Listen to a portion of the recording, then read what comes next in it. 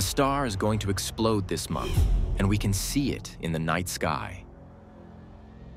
And for a fleeting moment, the night will burn with ancient fire.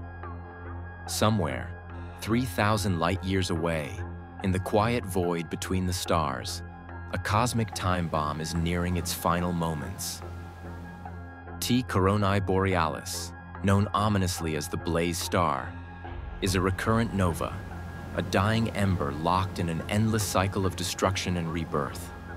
The last time it erupted, the world was very different.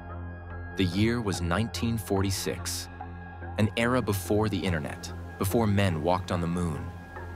Few were watching the sky when, for a brief moment, an invisible star became a beacon bright enough to be seen with the naked eye.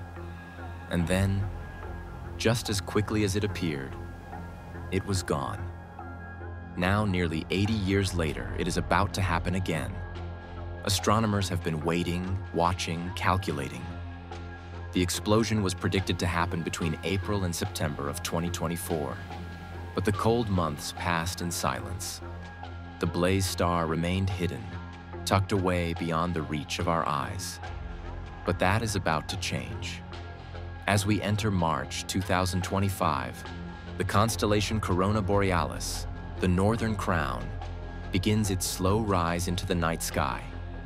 It will first appear three hours after sunset, becoming clearly visible four hours after sundown.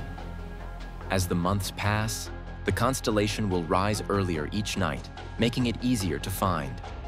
If you want to witness this rare event, you need to know where to look. Start by finding the Big Dipper. This familiar pattern, one of the most recognizable in the northern sky, will guide your way. Trace its curved handle, and you will find Arcturus, a bright orange star in the east. Then, look northeast for Vega, a brilliant blue-white star in the Lyra constellation. Between these two celestial sentinels lies Corona Borealis, a delicate crescent of seven faint stars. It is within this quiet cluster that the blaze star will ignite, an unfamiliar light among the familiar, burning fiercely before vanishing once more into the abyss.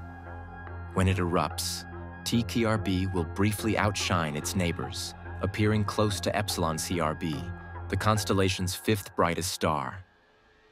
For a time, it will seem as if the cosmos itself has changed, as if a new star has been born in the crown of the sky.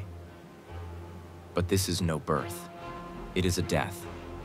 A violent thermonuclear explosion tearing through the surface of a dying white dwarf.